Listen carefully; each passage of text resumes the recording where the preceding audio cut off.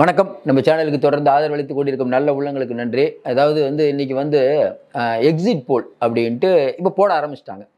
அப்போ நம்மளும் தொடர்ந்து நம்ம வந்து வட இந்தியாவில் இருக்கக்கூடிய நம்ம நண்பர்கள் இன்னும் குறிப்பாக சொல்லணும்னா அங்கே இருக்கக்கூடிய ஊடகங்கள் குறிப்பாக அந்த லோக்கல் சேனல்லாம் பார்த்தீங்கன்னா அந்தந்த ஏரியாவுடைய கள நிலவரத்தை பிரதிபலிக்கும். அந்த மாதிரி எந்தெந்த ஏரியாவில் என்னென்ன விஷயங்கள் இருக்குது அதுவும் குறிப்பாக இப்போ எக்ஸிட் போல் அப்படிங்கும்போது மொத்தமாக வந்து யூபியில் இவ்வளோ அப்படி இவ்வளோ இப்படி இவ்வளோன்னு சொல்கிறத தாண்டி யூபியில் எந்தெந்த தொகுதிகளில் பிஜேபி ஜெயிக்க போகுது எந்தெந்த தொகுதிகளில் காங்கிரஸ் ஜெயிக்க போகுது அதற்கான காரணங்கள் என்ன அப்படிங்கிறத பற்றி பார்க்கலான் இருக்கோம். தொடர்ந்து நம்ம வந்து இன்றைக்கி வந்து எக்ஸிட் போலோ இல்லை முன்னாடி போலோ எல்லாம் வந்து ஓரளவுக்கு சரியாக வரும். ஆனால் இந்த தேர்தலை பொறுத்த வரைக்கும் நம்ம ரொம்ப உறுதியாக நம்புகிறோம் இந்தியா கூட்டணிக்கு ஒரு பெரிய வெற்றி இருக்குது அப்படிங்கிறத மட்டும் நம்ம இந்த இழுபறி அப்படிங்கிறது வராது அப்படிங்கிறது தான் நம்ம கருத்து கணிப்பில் நீங்கள் பார்த்தீங்கன்னாவே தெரியும். ஒவ்வொன்றா முதல்ல பார்ப்போம். மிக மிக முக்கியமாக நம்ம இப்போ முதல்ல பார்க்க போகிறது உத்தரப்பிரதேசம். உத்தரப்பிரதேசத்தில் கண்டிப்பாக நூறு சதவீதம் வந்து இன்னைக்கு வந்து நூறு சதவீதம் சொல்ல வேணாம். ஒரு தொண்ணூத்தொம்பது சதவீதம் கண்டிப்பாக ஜெயிக்கக்கூடிய காங்கிரஸ் ஜெயிக்கக்கூடிய அதாவது இந்தியா கூட்டணி ஜெயிக்கக்கூடிய தொகுதி அப்படின்னு பார்த்தீங்கன்னா முசாஃபர் நகர் ராம்பூர் சாம்பல். இந்த சாம்பல் அப்படிங்கிற பகுதியெல்லாம் பார்த்தீங்கன்னா ஒட்டு மொத்தமாக ராஜபுத்திர இனமும் இஸ்லாமியர்கள். இவங்கெல்லாம் மொத்தமாக வந்து வாக்களிச்சிருக்காங்க. அதனால் இந்த ஏரியாலெலாம் பார்த்தீங்கன்னா நீங்கள் கூட்டம் கூட்டமாக அவங்க போகிறத பார்த்த தெரிஞ்சுக்கலாம். கண்டிப்பாக வந்து அங்கே பிஜேபிக்கு ஒரு பெரிய பின்னடைவு இருக்குது அப்புறம் அம்ரோகா. அம்ரோகாவும் ரொம்ப முக்கியமான தொகுதி. கண்டிப்பாக ஜெயிக்கக்கூடிய தொகுதி. காசியாபாத். பதேபூர் சுக்ரி. பதேபூர் சுக்ரியில் வந்து பிஜேபி வந்து அந்த வேட்பாளரே கடைசி நேரத்தில் பிரச்சாரத்தையே போல பிரியங்கா காந்தி கடைசியாக போட்ட கூட்டம் மிகப்பெரிய ஒரு எழுச்சியான கூட்டம். இன்னும் குறிப்பாக சொன்ன இந்த தொகுதியை பொறுத்த வரைக்கும் அங்கே நீங்கள் யாரை கேட்டாலும் சொல்லுவாங்க என்னென்னா மத்தியானம் மூணு மணி வரைக்கும் வேட்பாளரே காங்கிரஸும் சரி இவங்களும் சரி யாரும் வேட்பாளரே போக மாட்டாங்க. அவ்வளோ ஒரு கடுமையான வெயில் ஒரு பெரிய ஒரு ஆர்ப்பாட்டம் இல்லாமல் இருக்குது ஆனால் இந்த தொகுதியில் பொறுத்த வரைக்கும் நூறு சதவீதம் நம்ம ஏற்கனவே சொன்ன தொண்ணூத்தொம்பது சதவீதம் கண்டிப்பாக வந்து காங்கிரஸ் ஜெயிப்பதற்கான வாய்ப்பு தான் இருக்குது அடுத்து பார்த்தீங்கன்னா அவ்வளோ இந்த ஆவலா தொகுதியில் சொல்லவே வேணாம் காங்கிரஸ் அப்பேரண்ட் எடுக்குது. இந்தியா கூட்டணி. நம்ம அகிலேஷையும் சேர்த்து தான் சொல்கிறோம் அதுக்கப்புறம் பார்த்தா ரேபரேலி அமேதி. குறிப்பாக பார்த்தீங்கன்னா ரேபரேலியில் பெரிய மார்ஜினில் இன்றைக்கி வந்து ராகுல் காந்தி ஜெயிக்க போகிறதா சொல்கிறாங்க அதேமாதிரி அமேதியில் அதாவது என்னென்னா இந்த முன்னிலை கிண்ணிலை அதெல்லாம் இல்லை. இந்த தடவை அமேதியில் வந்து மோடி ஆட்கள் சரியாக வேலை பார்க்கல. ஒன்று ஆனால் பெருமளவுக்கு வந்து உட்கட்சியில் பிரச்சனை அந்த அளவுக்கு இருக்குது. அதனால் அவங்க கட்சிக்காரங்களே தோக்கடிப்பாங்க அப்படிங்கிற நிலைமை தான் இருக்குது. சர்மா அமோகமாக ஜெயிப்பார் அப்படிங்கிறது தான் லேட்டஸ்ட் தகவல். அதுக்கப்புறம் பார்த்தீங்கன்னா கன்யூஜ் கன்யூஜ். கன்யூஜ் வந்து நம்ம அகேஷ் ப- க- அதாவது என்னன்னா பிஜேபியை ஒத்துக்கிட்டாங்க. அவங்க அஞ்சு பேர் நிற்கிறாங்க சமாஜ்வாதியில் குடும்பம். அஞ்சு பேரும் ஜெயிப்பாங்கன்னு பிஜேபியை ஒத்துக்கிட்டாங்க. அதை பற்றி நம்ம என்ன சொல்லணும்? அதுக்கப்புறம் சுல்தான்பூர். சுல்தான்பூர் அக்பர்பூர் இங்கெல்லாம் பார்த்தீங்கன்னா பெருமளவுக்கு இஸ்லாமிய வாக்குகள் வந்து மாறி இருக்கு அது மாறி இருக்குன்னா போன தடவை அவங்க பிஎஸ்பிக்கெலாம் போட்டிருக்காங்க. என்ன சிக்கலாகி போச்சுன்னா இந்தந்த ஏரியாவில் மோடி அவர்கள் முதல் நாள் வந்து இஸ்லாமியர்களை திட்டிட்டு அடுத்து இஸ்லாமியர்கள் எங்கெங்கெல்லாம் அதிகமாக இருக்காங்களோ அங்கே இருக்கவங்கள வாக்குப்பதிவு பண்ண விடாமல் தடுக்கிறதுக்கான வேலையெல்லாம் பார்த்தாங்க. குறிப்பாக வாரணாசிலேயே நம்ம சொல்லியிருந்தோம். அங்கே வந்து எக்கனாமிக் டைம்ஸ்லேருந்து எல்லோரும் பதிவு பண்ண விஷயம் என்னென்னா மக்கள் ஒரு பயத்தில் இருக்காங்க. அதாவது என்னென்னா ஏதாவது ஒன்று பண்ணிடுவாங்கப்பா மோடி தான் மீண்டும் வருவா வந்துட்டா ரொம்ப ஏதாவது பண்ணிடுவார் அப்படிங்கிறதுனால அங்கே இருக்க மக்கள் ஒரு அச்சத்தோடு இருக்காங்க. ரெண்டாயிரத்தி பதினாலு ரெண்டாயிரத்தி பத்தொம்போது எல்லாமே வாய் வார்த்தை தான். கடவுளை பார்க்குறோம் மோடியை பார்க்குறோம் ராமர் கோயில் இதே வச்சு ஓட்டிட்டாங்க. சாதாரண மக்கள். குறிப்பாக பார்த்தீங்கன்னா குடிநீர் தட்டுப்பாடு. இன்னொன்று வேலை இல்லை நீங்கள் அந்த ரெண்டு மூணு ஊர் பேர் சொன்னாங்களாம் பார்த்தீங்கன்னா வேலை இல்லாத திட்டத்தை அந்த அளவுக்கு. நீங்கள் போய் அங்கே யார்ட்டையாவது கேட்டால் கூட வாழ்க்கை தரமே மாறலை. அந்த அளவுக்கு பல கிராமங்கள் இருக்குது நம்ம ஏற்கனவே சொன்ன மாதிரி மோடி அவர்களுடைய வாரணாசி தொகுதியில் அவர் தத்து எடுத்த ஊரில் பல இடத்துல இன்னும் மின்சாரம் இல்லை. கழிப்பிடம் கட்டித்தரேன்னு சொன்னால் கழிப்பிடமும் இல்லை. இப்படி பல ஊர்கள் இருக்குது ஏன்னா இவர் வந்து சுச்சா பாரத் சுச்சா பாரத்துங்கிறாங்க அங்கே சுச்சா பாரத் அங்கே செயல்படலை. நமக்கே அதிர்ச்சி ஆகுது சில ஊர்லாம் இப்படியும் ஊர்கள் இருக்குமா? எதை நம்பிக்கையில் இவங்கெல்லாம் ஓட்டு போடுறாங்க அப்படின்னு. அதனால் இந்த விஷயத்தை பொறுத்த வரைக்கும் கண்டிப்பாக அங்கெல்லாம் ஒரு பெரிய மாற்றம் இருக்கும். அதே மாதிரி மைன்பூர் பப்பட். இதில் வந்து என்னென்னா ஜெயந்த் சௌத்ரி வந்து கண்டிப்பாக வந்து அவருக்கு சீட்டு கொடுத்தாங்க. இப்போ அவங்க தொகுதியிலேயே பிரச்சனை கண்டிப்பாக ஜெயந்த் சௌத்ரி வருவதற்கான வாய்ப்பே இல்லை. ஏன்னா அவர்கள் கட்சியில் வந்து பெரிய போர்க்கொடி தூக்கிட்டு இருக்காங்க. கடைசி நேரத்தில் ஜாட் ஜாட் இனத்தவர் ஜெயந்த் சௌத்ரியை கைவிட்டாங்க இது இது வந்து அணி மாறுபவர்களுக்கு இது ஒரு பெரிய அடி. போன தடவை கொஞ்ச நாளைக்கு முன்னாடி வரைக்கும் இந்தியா கூட்டணியில் இருக்காரு. டக்குன்னு இந்த பக்கம் மாறுறாரு அவருக்கு நம்ம சீட்டு கொடுக்குறாங்க அப்படிங்கும்போது இதை ஜாட் மக்க மக்கள் ரசிக்கலை. ஏன்னா இன்னொன்று ஜாட் மக்கள் அதுக்கப்புறம் பார்த்தீங்கன்னா இவங்க ஆஹ், ப- இங்கெல்லாம் இருக்கக்கூடிய இடத்துல பார்த்தீங்கன்னா வலுவாக இன்றைக்கி வந்து அகிலேஷ்க்கு ஒரு பெரிய ஒரு உற்சாகம் இருக்கிறதா பார்க்க முடியுது. அதனால தான் தொகுதி வாரியாகவே நம்ம படிக்கிறோம். அதேமாரி கோசி அப்புறம் கஞ்ச்பூர் மிர்சாப்பூர் நம்ம படித்த இந்த எல்லா தொகுதியிலையும் நீங்கள் வந்து நம்ம பதிவு கூட அப்புறம் கூட போட்டு பாருங்கள் தேர்தல் முடிஞ்சோன்னா அங்கே இருக்கக்கூடிய சார் சார் இதெல்லாம் வந்து கண்டிப்பாக ஜெயிக்கக்கூடிய தொகுதி. இது என்ன ஏன் நம்ம உறுதிப்படுத்துகிறோம்னா தேர்தல் முடிந்த உடனே யோகி ஆதித்யநாத் கட்சியில் இருக்கவங்களே இது வந்து நம்ம ஒத்துக்க மாட்டோம். இங்கே வந்துலாம் அவன் இந்தியா கூட்டணி அத்துமீறி பண்ணிடுச்சு. அகிலேஷ் வந்து நிறைய தப்பு பண்ணுறாரு அப்படின்னு தொடர்ந்து சொல்கிறத வச்சே புரிஞ்சுக்கலாம். இந்தந்த தொகுதியில் இந்தியா கூட்டணி சூப்பர் பர்ஃபார்மன்ஸ் அது ஒன்று இந்தியா கூட்டணி அதாவது என்ன அகிலேஷ் அவர்கள் வீட்டு முன்பு கூடிய கூட்டம் இருக்குல்ல இப்போ கொஞ்ச நாள் அந்த எலெக்ஷன் முடிஞ்சதுன்னா நேற்றுலாம் பார்த்தீங்கன்னா அவ்வளோ கூட்டம். ஏன்னா இந்த இன்னைக்கு முடியுது இப்போ நான் பேசிகிட்டு இருக்க நேரம் முடிஞ்சிச்சு. நேற்றே அவரை சந்திக்க ஏகப்பட்ட பேர் தொழிலதிபர்கள் அப்பாயின்மெண்ட் கேட்குறாங்களோ அந்த அளவுக்கு அப்பாயின்மெண்ட் அகிலேஷிடம் அப்பாயின்மெண்ட் கேட்கும் தொழிலதிபர்கள் ஒரு பெரிய லிஸ்ட்டே கேட்குது எலெக்ஷன் முடிஞ்ச அடுத்த நாள்லாம். ஏன்னா ஒன்றாந்தேதி அவர் இன்றைக்கி கூட்டம் நாளைக்கு வீட்டில் தான் இருப்பார் அப்படி. இப்படிப்பட்ட சூழ்நிலையில் யூபிஎல் இன்னைக்கு இருக்கக்கூடிய நிலவர பிரகாரம் பிஜேபி நாற்பத்தி ரெண்டு தொகுதி காங்கிரஸ் முப்பத்தெட்டு தொகுதி. இதில் தான் இன்னைக்கு வந்து கன்ஃபார்மாக ஜெயிக்கக்கூடிய இடத்துல இருக்காங்க.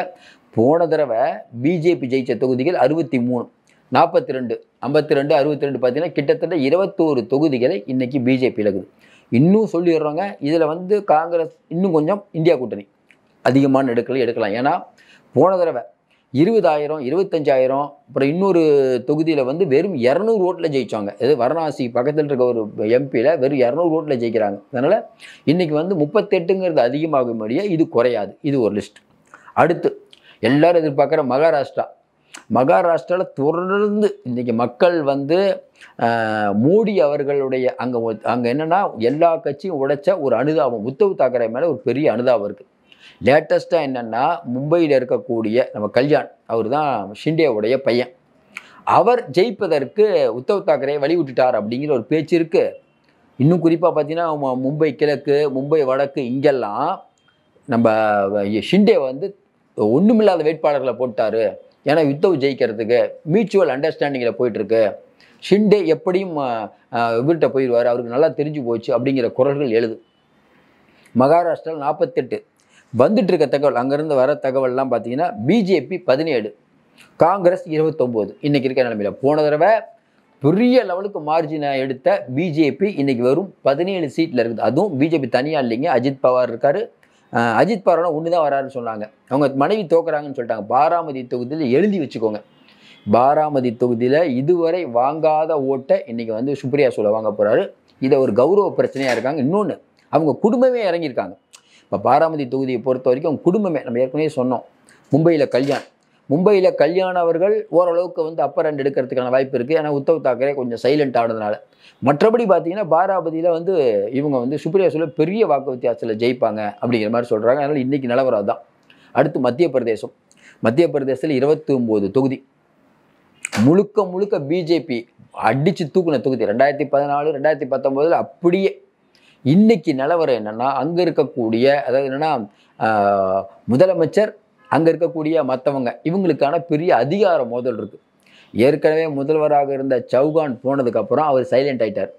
இப்போ அவர் எம்பியில் நிற்கிறார் இப்போ லேட்டஸ்ட் தகவல் என்ன? அவரே கஷ்டப்பட்டு தாங்க ஜெயிக்க போறாரு. அந்த ரேஞ்சில் இருக்காங்க. அப்புறம் பிஜேபி ஐந்து மத்திய அமைச்சர்களை வேறு நிறுத்தியிருக்காங்க. நாலு நாலு மத்திய அமைச்சர்கள் நிறுத்தியிருக்காங்க. அதனால் இன்னைக்கு நிலவரம் வந்து கமல்நாத்துக்கு கொஞ்சம் சாதகமாக இருக்கும். கமல்நாத்தை தாண்டி. ஏன்னா கமல்நாத் போனதில் கொஞ்சம் இந்த இவங்களெல்லாம் ஒன்றும் சேர்க்கலை. நம்ம சமாஜ்வாதி சமாஜ்வாதியும் உள்ளே வருது.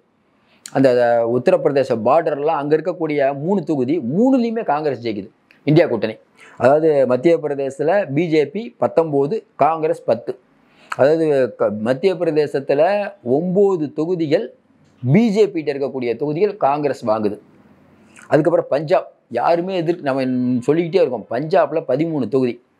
இந்த தடவை நஷ்டப்பட போகிறது யாருன்னா ஆம் ஆத்மியும் பிஜேபியும் தான். என்னங்க ஆம் ஆத்மின்னு கேட்டிங்கன்னா கடைசி நேரத்தில் எழக்கூடிய மாற்றங்கள் இருக்குல்ல அதாவது என்னென்னா கெஜ்ரிவாலை தாண்டி மன்மோகன் சிங் போட்ட அந்த லெட்டர் இருக்குல்ல அது வந்து அங்கே இருக்கக்கூடிய அந்த சங்கங்கள் மத்தியில் ஒரு பெரிய ஒரு ஒரு இம்பேக்டை ஏற்படுத்தியிருக்குன்னே சொல்கிறாங்க அதனால் இந்த தடவை பார்த்தீங்கன்னா பஞ்சாபில் மொத்தமாக சொல்கிறோம் பிஜேபி வந்து ஒரு சீட்டு கூட வருவதற்கான வாய்ப்பு இல்லை இதான் கள நிலவரம். ஏன்னா இந்த பிரதமர் மோடி அவர்கள் அந்த பாலத்தில் நின்று எங்களுக்கு அச்சுறுத்தலாக இருக்குன்னு ஃபோட்டோ அதெல்லாம் வந்துட்டுருக்கு. அதுவும் இல்லாமல் விவசாயிகள் போராட்டம். இதையெல்லாம் வைத்து பெரிய ஒரு போராட்டமே நடக்குது. அதனால் இந்த தடவை பஞ்சாபில் பதிமூணில் வெறும் சைபரான் தொகுதி தான். காங்கிரஸ் இந்தியா கூட்டணி மிச்சம் இருக்க தொகுதி எல்லாம் காங்கிரஸ் இந்தியா கூட்டணி தான் அப்படிங்கிறாங்க. ஒரே ஒரு தொகுதி பன்னெண்டு தொகுதி இந்தியா கூட்டணி ஒரே ஒரு தொகுதி வந்து சிரோன்மலியா காலேஜில் போகிறதுக்கான வாய்ப்பு இருக்குங்கிறாங்க. இன்னொன்று வந்து ஹரியானா. பத்து தொகுதி. நம்ம ஏற்கனவே சொல்லியிருந்தோம் அரியானால இன்னைக்கு இருக்க தலைமையில் மனோகர்லால் கட்டார். அவர் ஜெயிக்கிறதே பிரச்சனை. அவர் தான் சிஎம்மாக இருந்து வந்தவர். இன்னைக்கு இருக்கக்கூடிய இடத்துல கூட்டி கழித்து பார்த்தாலும் அவங்க என்ன சொல்கிறாங்க பிஜேபி ஒன்று இல்லைன்னா அதிகபட்சம் ரெண்டு காங்கிரஸ் எட்டு. இதான் நிலவரம். ஏன்னா ஜேஜேபி நிறைய இடத்துல வந்து வாக்குகளை பிரிக்கிறாங்க. அந்த வாக்கெல்லாம் பிஜேபி வாக்கு தான். ரெண்டு பேரும் தான் ஒன்றா இருந்தாங்க. துணை முதல்வராக வேறு இருந்தார். ஹரியானாவில் ஒரு மிகப்பெரிய ஒரு அலை வீசுது. நம்ம மட்டும் சொல்ல கெஜ்ரிவாலுக்கு தான் சொன்னார். நீங்கள் வேணால் பாருங்கள் ஹரியானா டெல்லியெல்லாம் பெரிய அலை வீசுதுனாரு ஹரியானா நம்ம பொறுத்த வரைக்கும் பெரிய லெவலுக்கு வந்து பிஜேபிக்கு ஒரு ஏன்னா போன தடவை பத்துக்கு பத்து. அப்படியே இன்றைக்கி வந்து பிஜேபியோட நிலைமை வந்து ஹரியானா ரொம்ப மோசமாகுது. குறிப்பாக ஹரியானாவில் இருக்கக்கூடிய ஏன்னா பஞ்சாப்லேருந்து பிரிஞ்சது தான்.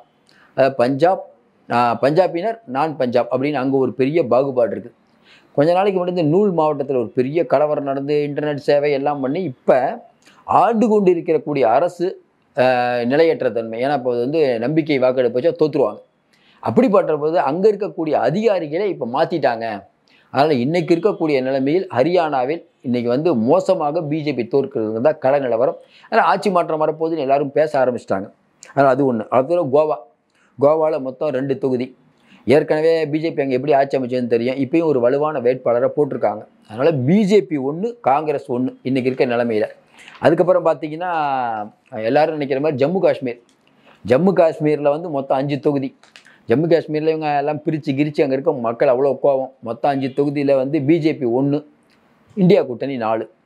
குஜராத் குஜராத் ரொம்ப பிஜேபி இன்னும் நம்பிட்டு இருக்காங்க இன்னும் கை கொடுக்குன்னு தான் சொல்கிறாங்க என்னென்னா இருபத்தாறு தொகுதி. அங்கே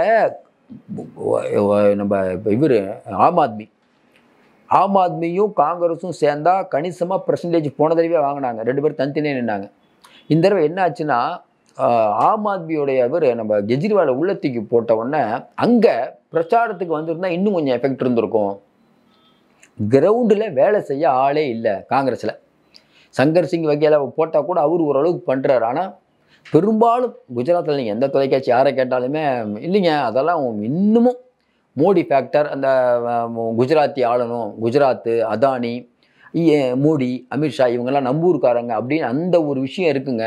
குஜராத்துக்கு ஓரளவுக்கு நிறையா இப்போ எலக் தேர்தல் முடிந்தது பிறகு மோடி பிரதமரானால் பெரிய அளவுக்கு பணம் வரப்போகுது அப்படிங்கிறதுனால இப்போ குஜராத்தில் இருக்கக்கூடிய மக்கள் பெரிய இன்னொன்று அந்த குஜராத்தில் இருக்கக்கூடிய பணக்காரர்கள் மத்தியிலையும் நடுத்தர மக்கள் மத்தியிலையும் மோடி அப்படிங்கிறது இன்னும் ஒரு அந்த வேவ் இருக்குங்க அப்படிங்கிற மாதிரி சொல்கிறாங்க அதனால் குஜராத்தில் பிஜேபி இருபத்தி ஒன்று காங்கிரஸ் அஞ்சு அப்புறம் தெலுங்கானா. தெலுங்கானாவில் பதினேழு தொகுதிகள். எல்லாருமே நினச்சாங்க? தெலுங்கானாவில் வந்து பிஆர்எஸ் அது ஆல்மோஸ்ட் ஒன்றும் இல்லை. போட்டி வந்து காங்கிரஸ் பிஜேபி தான். காங்கிரஸ் ரேவந்த் ரெட்டி வந்தவுடனே பணம் இன்னும் அதிகாரம் அந்த பவர் ஒன்று இருக்குது. இன்னொன்று இப்போ தான் ஜெயிச்சிருக்காங்க. நிறையா நலத்திட்டங்கள்லாம் பண்ணியிருக்காங்க. அதனால் காங்கிரஸ் ஒன்றும் பிரச்சனை இல்லை. ஆனால் என்னென்னா இன்றைக்கி இருக்கக்கூடிய தெலுங்கானாவில் நாலு சீட்டு பிஜேபி காங்கிரஸ் ஒம்பது சீட்டு அந்த ஓவைசி அசாருதீன் அவரெல்லாம் ஜெயிப்பார். அதர்ஸ்னு போட்டு ஒரு நாடு. அதனால் காங்கிரஸுக்கு இங்கே கெயின் தான். அதுக்கப்புறம் பார்த்தீங்கன்னா ராஜஸ்தான். ராஜஸ்தானில் மறுபடியும் எல்லாரும் உற்று நோக்கக்கூடிய இடம் ராஜஸ்தான் தான். ஏன்னா ராஜஸ்தானில் இருபத்தஞ்சி தொகுதி. இந்த ராஜஸ்தானில் இருபத்தஞ்சி தொகுதியில் இவர் நம்ம அசோக் கெலட் பையனே நிற்கிறார் வைபவ். அதுவும் இல்லாமல் சச்சின் பைலட் குஜாரினம் குஜாரினத்தை சேர்ந்த யார் நம்ம வசுந்தராஜா சிந்தியாவெல்லாம் ஓரம் கட்டிட்டாங்க. இப்போ என்ன சிக்கல்? வசுந்தரராஜ சிந்தியா அவங்க பையனுக்கு மட்டும் வேலை பார்க்குறாங்க. வசுந்தரராஜ சிந்தியாவின் நம்பிக்கை தளபதியாக இருக்கக்கூடிய குஜரா குஜாரின முகமாக இருக்கக்கூடியவர் அவர் என்ன பண்ணுறார் கடைசியாக காங்கிரஸ்க்கு வந்துட்டார். அங்கே அவருக்கு சீட்டு கொடுத்துட்டாங்க. இப்போ வசுந்தரராஜ சிந்தியா அவருடைய ஆதரவாளர்களுக்கு சி பண்ணுவாங்களா? இவருக்கு பண்ணுவாங்களா? ஒன்று இன்னொன்று ஒட்டுமொத்த குஜார் இன மக்களும் வந்து சச்சின் பைலட்டில் முக்கால்வாசி போகுது. வசுந்தராஜா கொஞ்சம் போட்டாங்க. ஆனால் இந்த தடவை மொத்த குஜாரின மக்களும் இந்த பக்கம் வந்துட்டாங்க. அதனால் இன்றைக்கி இருக்கக்கூடிய நேரத்தில் அசோக் கெலாட்டுக்கு மீண்டும் ஒரு வாய்ப்பு தந்திருக்கலாங்கிறது அங்கே பெரும்பாலான மக்களின் எண்ணம். எல்லா கருத்து இப்போ அப்படி தான் வந்துச்சு. நீங்கள் இப்போ தெரிஞ்சிருக்கோம். நீங்கள் வந்து ராஜஸ்தானில் பார்த்தீங்கன்னா போன தடவை கருத்து கணிப்பே என்னென்னா கண்டிப்பாக ஜெயிச்சிருவாருன்னு. இன்னும் குறிப்பாக சொல்லணும் இப்போ நடந்த தேர்தலில் கூட வெறும் ஒன்றரை பர்சன்டில் தான் அவர் தோக்குறாரு. அதனால் இன்றைக்கி வந்து அந்த இன்னொன்று சீட்டும் நல்லா வாங்கியிருக்காங்க. அதனால் ராஜஸ்தான் வந்து நல்ல ஹோல்டு இருக்குது. இன்னொன்று தனிப்பட்ட செல்வாக்கே அசோக் கெலாட்டுக்கு இருக்கிறது பாராட்டத்தக்கது. அங்கே அசோக் கெலாட் கொஞ்சம் இறங்கி வேலை செஞ்சுருக்காரு. அவங்க பையனை தாண்டியும் பெரிய அளவுக்கு வேலை செஞ்சுருக்காரு. இன்னொன்று அந்த அங்கே இருக்கக்கூடிய முதலமைச்சர். இப்போ தான் ஃபஸ்ட் டைம் எம்எல்ஏ ஆகிறார் அவருக்கு முதலமைச்சர். அப்போ வசந்தராஜ் ஆளுங்க வேலையே செய்யலை. அவங்க பையனுக்கு மட்டும்தான் மொத்தமாக அந்த இடத்துல மட்டும் வேலை செஞ்சாங்க. கட்டம் கட்டம்லாம் சொல்கிறாங்க மற்றபடி அவங்க அரசியல் விட்டு ஒதுங்குற நிலைமைக்கு வந்துட்டாங்க. அதனால் இன்றைக்கி இருக்கக்கூடிய நிலைமையில் ராஜஸ்தானில் இருபத்தஞ்சி தொகுதிகள். போன தடவை இருபத்தி நாலு தொகுதியில் பிஜேபி. இங்கே தான் யோசிக்கணும். அங்கே அதாவது இருபத்தஞ்சில் இருபத்தி நாலு பிஜேபி மத்திய பிரதேசத்தில் இருபத்தொம்போதில் இருபத்தொம்போது பிஜேபி. இந்த தடவை மத்திய பிரதேசில் இருபத்தொம்போது இருபத்தெட்டு பிஜேபி. இந்த தடவை பார்த்தீங்கன்னா ராஜஸ்தானில் போன தடவை இருபத்தஞ்சுக்கு இருபத்தஞ்சு பிஜேபி. இந்த தடவை வெறும் எட்டு. காங்கிரஸ் பதினேழு. அதனால் இன்றைக்கி வந்து அலை அடிக்கிற மாநிலம்னு பார்த்தா ராஜஸ்தான் டெல்லி அதுக்கப்புறம் பார்த்திங்கன்னா வேறு என்ன சொல்கிறது ரா இல்லை ராஜஸ்தான் ஓகே தான். மத் மத்திய பிரதேஷ் ஓகே தான். அதுக்கடுத்து பார்த்தீங்கன்னா தமிழ்நாடு. தமிழ்நாட்டில் சொல்லவே தேவையில்லை. நமக்கே தெரியும். மற்ற ஊராது நமக்கு பிரச்சனை இல்லை. தமிழ்நாடு நம்ம மறுபடி தொடர்ந்து சொல்லிட்டு இருக்கோம். இந்த தடவை திமுகவுக்கு எதிரான கோபம் எது இருந்தாலும் மோடி அப்படிங்கிற ஒற்றை மனிதர் அவரை அந்த பிஜேபி அதை வச்சுக்கிட்டு மோடிக்கு திமுக ரொம்ப ரொம்ப பெட்டர்னு மொத்தமாக கூத்தியிருப்பாங்க. வரக்கூடிய தகவலை தான். முப்பத்தொம்போதுக்கு முப்பத்தொம்போதே. சில பேர் சொல்கிறாங்க இல்லை இல்லை வருவாங்கன்னு நம்ம பொறுத்த வரைக்கும் தனிப்பட்ட செல்வாக்காக இருக்கக்கூடிய டிடிவி ஓபிஎஸ்ஸே திணறிட்டு இருக்காங்க அவ்வளோதான் அன்புமணி மனைவி சொல்கிறாங்க நம்மை பொறுத்தவரை கேட்ட வரைக்கும் கிரவுண்டில் இப்போ பேசியிருக்காங்க பட் அது வந்து சரி வராது. மொத்தமாக முப்பத்தொம்போது தொகுதி இன்றைக்கி திமுக கூட்டணி பெறுவதற்கான பாண்டிச்சேரி ஒன்று நாற்பது அதுக்கப்புறம் பார்த்தீங்கன்னா அஸ்ஸாம்.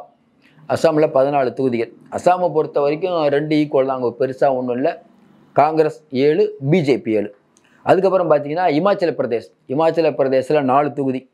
அதில் ரெண்டில் பிஜேபி ரெண்டில் காங்கிரஸ். அதுக்கப்புறம் பார்த்தீங்கன்னா அருணாச்சல பிரதேசம். அதில் ஒன்றில் வந்து பிஜேபி ஒன்றில் காங்கிரஸ். இது எல்லாம் பார்த்தீங்கன்னா மொத்தமாக முந்நூற்றி ஐம்பத்தஞ்சு தொகுதி வருது. இதெல்லாம் இப்போ நம்ம பேசின வரைக்கும். இதில் நம்ம ஏற்கனவே சொன்ன மாதிரி யூபியில் காங்கிரஸ் பெரிய அளவுக்கு அப்பர் ஹேண்ட் எடுக்குது. ஒன்றுமே இல்லாதவங்களுக்கு பெரிய ஒரு இது. அதே மாதிரி பார்த்தீங்கன்னா மும்பையில் நல்ல ஒரு ஸ்டாண்ட் எடுக்கிறாங்க. மத்திய பிரதேசம் பெரிய அளவு கெயின் பண்ணுறாங்க அதுக்கப்புறம் ஹரியானா சூப்பர் அடி. அதுக்கப்புறம் பார்த்தீங்கன்னா குஜராத்தில் ஒரு கணக்கை ஓப்பன் பண்ணுறாங்க அதுக்கப்புறம் பார்த்தீங்கன்னா ராஜஸ்தான் நல்ல ஒரு ஏற்றம். இது எல்லாத்தையும் வச்சு முந்நூற்றி ஐம்பத்தஞ்சு தொகுதியில் இன்றைக்கி பிஜேபி நூற்றி நாற்பத்தெட்டு அந்த பக்கம் பார்த்தீங்கன்னா இந்தியா கூட்டணி இரநூத்தி ஒம்பது. அதை நம்ம ஏற்கனவே இப்போ இது இதுக்கப்புறம் பேச போகிறோம் ஆனால் ஒன்றே ஒன்று சொல்லிடுறோம். நீங்கள் தொடர்ந்து பார்த்தீங்கன்னா அடுத்தடுத்து அது பார்க்கப்புறம் பார்த்தீங்கன்னா ஜார்க்கண்ட். ஜார்க்கண்டில் மொத்தம் பதினாலு தொகுதிகள். ஜார்க்கண்டில் ஹேமந்த் சோரன். அவங்க சாம்பல் சோரன் பக்காவாக பண்ணிட்டு இருக்கார் பழங்குடியினர் மத்தியில் நம்ம ஏற்கனவே சொல்லியிருந்தோம். இந்த தடவை இப்போ அவங்க தேர்தலுக்கு ஒரு நாலு நாளைக்கு முன்னாடி ஒரு அமைச்சரை அரெஸ்ட் பண்ணாங்க. ஏன்னா அந்த அமைச்சர் வீட்டில் தான் பணம் போச்சு. அது உண்மையும் கூட கேள்விப்பட்டதான். ஆனால் என்னென்னா இவங்க பிடிக்கிறதுக்கு முன்னாடி பணம்லாம் போயிடுச்சான் எல்லா ஊருக்கும் ஏற்கனவே பணம் போயிடுச்சு. போன தடவை ஜார்க்கண்டில் பதினாலு தொகுதியில் பதினோரு தொகுதி பிஜேபி. இன்றைக்கி ஜார்க்கண்டில் பதினாலு தொகுதியில் பிஜேபி ஆறு காங்கிரஸ் எட்டு. இன்றைக்கி இருக்க நிலம்பரப்புறம் அதேமாரி மேகாலயா. மேகாலயாவில் ஒன்று ஒன்று தான் காங்கிரஸ் ஒன்று பிஜேபி ஒன்று டெல்லியில் ஏழு. நம்ம தொடர்ந்து சொல்லிகிட்டு இருக்கோம். இது சொல்கிறாங்க பட் இது கூட நமக்கு என்ன ஏழு சீட்டு போன தடவை ஏழு கேளு பிஜேபி. இந்த தடவை மோடி மூன்று பிஜேபி மூணு இந்தியா கூட்டணி நாலு. நம்ம மறுபடியும் நம்ம இதில் கூட நமக்கு ஒரு இது இருக்குது. ஒரு ஒன்று ஒரு ஒரு சீட்டு க நமக்கு தெரிஞ்சு இவங்க கம்மியாகலாம். நம்ம பிஜேபி கம்மியாகலாம். அவங்க அஞ்சு வரணுங்கிறது தான் நம்ம எண்ணம். பார்ப்போம். கேரளா கேரளாவுக்கு தெரியும். காங்கிரஸுக்கு ஒன்றுமே பிஜேபிக்கு ஒன்றுமே இல்லை. ஏற்கனவே திருவனந்தபுரத்தில் இவர் ஜெயிக்கிறதா இருந்தது போல. சுரேஷ் கோபி அவரும் ஜெயிக்க மாட்டாங்க அப்படிங்கிற மாதிரி சொல்கிறாங்க கருணாகரன் நம்ம மறைந்த காங்கிரஸின் முன்னோடி நமக்கு தெரிஞ்சவங்க பையன் முரளி. அவர் காங்கிரஸ் தலைவராக இருந்தார். பெரிய குடும்பம். அவங்க பொண்ணு இந்துஜா அவங்க வந்து பிஜேபியில் சேர்ந்தாங்க. அவங்க வந்து இப்போ கவர்னர் போஸ்ட் கேட்டுட்டு இருந்தாங்க பொழுது அவங்களுக்கு கொடுக்கல அப்படி. மேலே பிஜேபி இல்லைனா அவங்களும் மறுபடியும் தாய் கழகத்துக்கு வராங்களாம். ஒட்டுமொத்தமாக இருந்த கொஞ்ச நெஞ்ச நம்பிக்கையும் காங்க இது கேரளாவில் போக போகுது அதுக்கப்புறம் பார்த்தீங்கன்னா கர்நாடகா. கர்நாடகாவில் மொத்த தொகுதி இருபத்தெட்டு. உங்களுக்கு தெரியும் ரேவண்ணா கீவண்ணான்னு போட்டு ஏகப்பட்ட மேட்ரு போட்டு முதல்ல பெரிய அளவுக்கு ஜெயித்த இடத்துல இன்றைக்கி வெறும் அஞ்சு சீட்டு தான் பிஜேபி வரத்துக்கான வாய்ப்பு இருக்குது இருபத்தி மூணு தொகுதிகள். காங்கிரஸ் வருதுக்கான காங்கிரஸ் ஒரு பெரிய அப்பர் ஹேண்ட் எடுக்கிறாங்க. ஏன்னா தென்னிந்தியாவில் வந்து தமிழ்நாட்டில் உங்களுக்கு தெரியும் ஒன்றும் இல்லை. கேரளாவில் ஒன்றுமே இல்லை. ஆந்திரா அதை பற்றி பேசுவோம். கர்நாடகா வந்து மிகப்பெரிய அடியை இடி அடி இல்லை இடியை இறக்க போகுது இந்த தடவை அப்படிங்கிறது தான் அதாவது எடியூரப்பா பையனே ஜெயிக்கிறது சந்தேகங்கிறாங்க. ஈஸ்வரப்பா வந்து அங்கே ஏகப்பட்ட வேலை பண்ணிகிட்டு இருக்காரு. அதே மாதிரி மஞ்சுநாத்னு ஒருத்தரை போட்டிருக்காங்க. யார்? நம்ம மத ஜனதா தலைவருடைய குமாரசாமி அவங்களுக்கு வேண்டியப்பட்டவர் அவர் டாக்டர் நல்ல பேர் உள்ளவர். அவரும் தோக்குறாரு. அதே மாதிரி எடியூரப்பாவுக்கு வேண்டியப்பட்ட ஷோபாவை போட்டிருக்காங்க. அந்த அம்மாவும் தோக்குறாங்க. மத்திய அமைச்சர் நிற்கிறாருல அவரும் தோக்குறாரு. அதனால் இன்றைக்கி இருக்கக்கூடிய நிலைமை கர்நாடகா ஆல்மோஸ்ட் முடிஞ்ச கண்டிஷனுக்கு வந்துருச்சு. அதுக்கப்புறம் பார்த்தீங்கன்னா ஒடிசா. ஒடிசாவில் போய் சும்மா எல்லாமே வேறு ஏதோ பேசி கீசி பார்த்தீங்கன்னா இருபத்தோரு சீட்டு இன்றைக்கி இருக்கக்கூடிய நிலைமையில் பிஜேபி ஆறு. இவங்க நம்ம பிஜேடி அது வந்து பதினஞ்சு. அதுக்கப்புறம் உத்தரகாண்ட். உத்தரகாண்டில் அஞ்சு தொகுதி. க அங்கே கொஞ்சம் கவு பெல்ட்டும்பாங்களா அதுதான். இன்னமும் வந்து மோடிக்கு ஆதரவு நாலு இந்தியா கூட்டணிக்கு ஒன்று ஆந்திரா இருபத்தஞ்சி தொகுதி. அதில் வந்து இப்போ இருக்கக்கூடிய நிலமையில் ஏன்னா பிஜேபி ஆறு சீட்டில் நிற்கிறாங்க இவங்க நம்ம வேறு நாயுடு வந்து மிச்ச தொகுதி நிற்கிறார் இந்த பக்கம் ஜெகன் தனியாக நிற்கிறார் இன்றைக்கி இருக்கக்கூடிய நிலைமையில் காங்கிரஸ் அப்படிங்கிறத வந்து இன்றைக்கி கடப்பால் ஒரே ஒரு தொகுதியில் மட்டும்தான் நமக்கு தெரிஞ்சு ஒரு நம்பிக்கை கேட்டு தெரியுது ஷர்மிளாக்கு. மற்றபடி ஜெகனும் நம்ம இவரும் தான் பாதி பாதி பிரிக்கக்கூடிய நிலைமை தான் இருக்குது. இன்றைக்கி இருக்கக்கூடிய நிலைமையில் ஜெகன் கொஞ்சம் குறையலாம் ஆனால் ஃபுல்லாக அடித்தார் கொஞ்சம் குறையலாம் மற்றபடி நாயுடும் வருவாங்க. ரெண்டு பேரும் பாதி பாதி தான் வருவாங்க. என்ன ஒன்று நாயுடு பிஜேபி கூட்டணியில் இருக்கார். ஆனால் ஜெயித்த பிறகு இந்தியா கூட்டணி மேலே வந்து அவர் அங்கே போயிடுவார் அதேமாதிரி ஜெகன் எங்கேயுமே இல்லை. ஆனால் இந்த பிஜேபியும் காங்கிரஸும் ஒரே இடத்துல வந்ததுன்னா அவர் பிஜேபிக்கு சப்போர்ட் பண்ணுவார். ஒருவேளை இந்தியா கூட்டணி மெஜாரிட்டிக்கு வர மாதிரி தெரிஞ்சதுன்னா வேற வழி இல்லை. அவருக்கும் ராகுலுக்கும் பர்சனல் பிரச்சனை இருந்தாலும் அரசியலில் நிரந்தர எதிரியும் இல்லை நிரந்தர நண்பரும் இல்லை. அவர் போயிடுவார் அதனால் இன்றைக்கி இருக்கக்கூடிய நிலைமையில் ஜெகனுடைய முதல் சாய்ஸ் பிஜேபி தான். அதுக்கப்புறம் பார்த்தீங்கன்னா சத்தீஸ்கர். பூபே சிங் பே- பாதலுடைய ஃபேக்டரி கடுமையாக ஒர்க் அவுட் ஆகுது. நல்ல பேர் வாங்கி வச்சிருக்காரு. பிரியங்கா காந்தியோட பிரச்சாரம். பதினோரு தொகுதி. அதில் வந்து பிஜேபி அஞ்சு காங்கிரஸ் ஆறு. ஏன் இதை சொல்கிறோம்னா ஒரு மூணு நாலு மாதத்துக்கு முன்னாடி நடந்த சட்டமன்ற தேர்தலில் பூபேஷ் சிங் பாதல் தான் வர மாதிரி இருந்துச்சு. ஆனால் கொஞ்சம் காங்கிரஸ் பின்னடைவு இருந்து மெஜாரிட்டி வந்துட்டாங்க. இன்றைக்கி இருக்கக்கூடிய நேரத்தில் பெரிய அளவுக்கு தடுமாறிட்டு இருக்காங்கன்னே சொல்லலாம். அதுக்கடுத்து எல்லாரும் எதிர்பார்க்கறது மேற்கொங்காலம் மம்தாவுக்கு வேணும் தேவையில்லாமல் இந்த கூட்டணி விட்டு போனாங்கன்னாங்க. என்னென்னா கடைசி நேரத்தில் ம- மம்தா சுதாரிச்சிட்டாங்க. என்னன்னா அந்த ஆளுநர் ஆனந்த போஸ் அவருக்கு எதிராக அந்த பெண் பாலியல் மேட்ரு அதுக்கப்புறம் சந்தோஷ் காலியில் வந்து ஏமாற்றிட்டாரு டிஎம்சி ஏமாற்றிட்டாருன்னு சொன்னாங்க. ஆனால் என்னென்னா அந்த மேகலா பத்ரா யார் பாதிக்கப்பட்ட பொண்ணோ அவர் தான் நிறுத்தினார் மோடி. அந்த தேர்தல் அவருக்கெல்லாம் போலீஸ்லாம் கொடுத்தாங்க பாதுகாப்பு. ஆனால் அந்த பொண்ணு வங்கி கணக்கில் மம்தா க- கட்சிக்காரங்க மம்தாவுடைய கவர்மெண்ட்லேருந்து பணம் வாங்கியிருக்காங்க நலத்திட்டங்கள். எந்த நலத்திட்டமும் வாங்கலை எல்லாரும் எங்களை புறக்கணிக்கிறாங்கிற வீடியோ ஒரு பக்கம். இன்னொரு பக்கம் வந்து இந்த வீடியோ. ரெண்டும் பார்க்கும்போது மக்கள் பெரிய அளவுக்கு மாறியிருக்காங்க சந்தோஷ் காலியே டவுட்டுங்கிற மாதிரி சொல்கிறாங்க மம்தா பெரிய அளவுக்கு ஸ்கோர் பண்ணுறாங்களாம் போன தடவை ரொம்ப கம்மியாக இருந்தாங்க. போன தடவை பிஜேபி ஒரு பதினேழு வந்தது. மம்தா ஒரு இருபது தான் வந்தது. இந்த தடவை பிஜேபி ஒம்பது மம்தா பானர்ஜி முப்பத்தி மூணு. இப்படி எல்லாம் வச்சு பார்க்கும்போது இன்றைக்கி இன்னைக்கு இருக்கக்கூடிய நிலைமையில் இந்தியா கூட்டணி அதாவது பெரும்பான்மையெல்லாம் இருக்குல்ல அதையெல்லாம் ஒன்றும் பிரச்சனையே இல்லாமல் கடக்க போகிறாங்கிறத இந்த கருத்து கணிப்போகல நம்ம பார்க்குறோம். இன்னும் குறிப்பாக சொல்லணும்னா இன்றைக்கி இருக்கக்கூடிய நிலவர பிரகாரம் பார்த்திங்கன்னா ஐநூற்றி முப்பது தொகுதியில் ஐநூற்றி முப்பது தான் நம்ம போட்டிருக்கோம். அதில் வந்து பிஜேபி நூற்றி தொண்ணூற்றி ரெண்டு. எல்லாரும் சொல்கிற மாதிரி இரநூறு கீழே தான் நூற்றி தொண்ணூற்றி ரெண்டு. இந்தியா கூட்டணி முந்நூற்றி முப்பத்தாறு. எல்லாரும் எதிர்பார்த்தது தான் நீங்கள் வேணால் பாருங்கள் நம்ம இந்த எக்ஸிட் போல் சொல்கிறோம் நீங்கள் பாருங்கள் ஏன்னா நம்ம வந்து தமிழ்நாடு தாண்டி இந்தியா முழுக்க நமக்கு வந்து ஏற்கனவே நம்ம வந்து நிறையா சேனலில் வந்து நிறைய ப்ரோக்ராம் பண்ணிட்டு இருக்கோம் அங்கே இருக்க நிறைய பேர் தெரியுங்கிற வரையில் நம்ம ஒரு கணிப்பு சொல்கிறோம் மற்றபடி நிறைய பேர் ஒன்று சொல்கிறாங்க இல்லை இல்லை பிஜேபி இரநூத்தம்பது சீட்டு வருங்கிறாங்க. நம்ம இப்போவும் சொல்கிறோம் இதில் நம்ம சொன்னதுலேருந்து குறையுமே தவிர கூடுவதற்கான வாய்ப்பு இல்லை ஏன்னா ஒவ்வொரு ஏரியாலையும் அங்கே இருக்கக்கூடிய கல நிலவரத்தை அங்கே இருக்கக்கூடிய தெரிஞ்சவங்ககிட்ட கேட்காம நம்ம பண்ணலை. இன்றைக்கி கூட இப்போ நம்ம பேசிகிட்டு இருக்க நேரம் நிறைய கருத்து கணிப்பு வந்துருச்சு. இன்னும் குறிப்பாக பிஜேபி ஜெயிக்கணும்னு கூட கருத்து கணிப்பு வருது. ஏன்னா பிஜேபியோட அழுத்தம் இன்னும் இருக்குது எல்லா இடத்துலையும். மற்றபடி நம்ம மறுபடியும் தொடர்ந்து சொல்கிற மாதிரி தான் ரெண்டாயிரத்தி பதினாலில் வந்து வாஜ்பாய் மறுபடியும் ஜெயிப்பார் அப்படின்னாங்க. ரெண்டாயிரத்தி நாலில். கடைசியாக மன்மோகன் சிங் ஆட்சி வந்ததுனால இன்றைக்கி இருக்கக்கூடிய நிலைமையில் பெரிய அளவுக்கு பிஜேபிக்கு ஒரு பெரிய இடியை இறக்க இந்திய மக்கள் தயாராகிட்டார்கள். வரக்கூடிய நாளங்க காலங்கள் நன்றாக இருக்க வேண்டும். யா நம்மை பொறுத்த வரைக்கும் யார் வந்தாலும் நல்லாட்சி கொடுக்கணும். பிஜேபி வந்தால் கொடுக்கவே மாட்டாங்கன்னு தெரியும் போது நம்ம நல்லாட்சி கொடுப்பாங்க நம்மளால் பேச முடியாது. மீண்டும் சந்திப்போம். நன்றி. வணக்கம்.